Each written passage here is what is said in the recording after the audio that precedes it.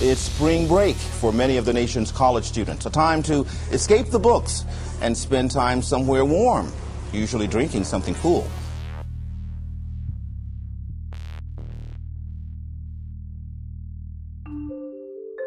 Well, now to a different kind of spring break story. Not all college students are interested in the usual routine of beaches and bars. Many are opting for a more constructive way to spend their time away from school.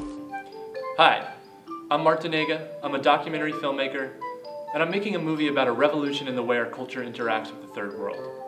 In the past 10 years, we've seen a rise in a unique kind of travel. People are taking time out of their busy schedules to immerse themselves and volunteer in developing countries. Chances are you know someone who's volunteered overseas in a trip described as short-term service, alternative spring break, or a volunteer vacation. Well, these trips have started a movement, a movement that combines the largest industry in the world, travel and tourism, with the largest nonprofit sector in the world, volunteering. Okay, so we're here to talk about voluntourism, and I'm not sure if the Oxford English Dictionary has yet accepted that as a proper English word, but that's what we're going with. Uh, it's not a new phenomenon, but it is a growing trend. Ben, why don't we start with you? Why don't you tell me what does the term voluntourism mean to you? For me, voluntourism is an opportunity that people pay for. That to me is voluntourism. And most voluntourism opportunities are short term, for a week, two weeks, three weeks, usually not more than a month or two. Voluntourism offers people the opportunity to see a new place and explore a different culture while helping out with local community projects. But why would anyone want to travel across the globe to help someone they've never met?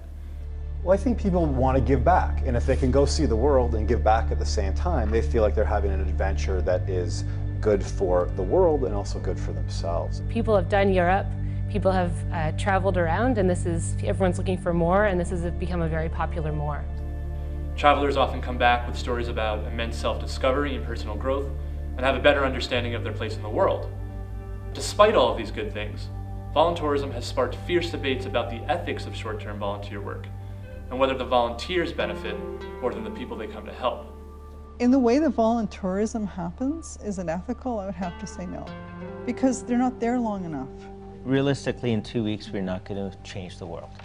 Uh, but at the same time, um, we are going to expose that individual or the student to a component of the world that otherwise they may not have had. I think that there can be some learning experiences that are structured and that are constructive on both sides, but all too often that isn't the case, and it becomes about what you've learned, what you get out of it, and what, how this looks on your resume, how this helps you to get through your university courses. Um, and it isn't about giving back anymore. Look, this voluntourism is not going away. There's a huge market for it, it's only increasing. But we can use the work of Barbara and others who see the problems of it to make the sector better and stronger and more sustainable. To explore this issue, I'm going to follow one group of students from Stonehill College on an alternative spring break trip to Canto Grande, Peru, one of the poorest districts of Lima. For eight days, the students will volunteer at a local school and rehab center, learn Peruvian traditions, and witness extreme poverty firsthand. And while it's crucial to capture this sort of life-altering experience, it's equally important to tell the story from Canto Grande's point of view, which is why I'm going to spend just as much time with the locals, Peruvian school teachers, physical therapists, and hosts who make this experience possible, and see what their lives are like, and how the travelers affect them.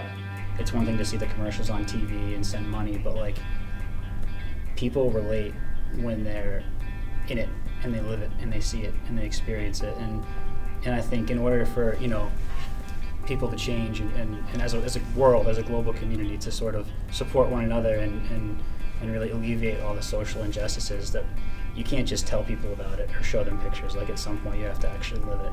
To bring this project to life I need a little help. With your donation I'll be able to afford to travel with the group this March buy editing space, and rent any necessary camera equipment to film for a week. This first trip is just a start, but it will allow me to create a trailer to continue raising money to finish the film. With the help of friends, family, and the voluntourism community, I know this will be a poignant human story that will bring this movement to the forefront and give it the attention it deserves.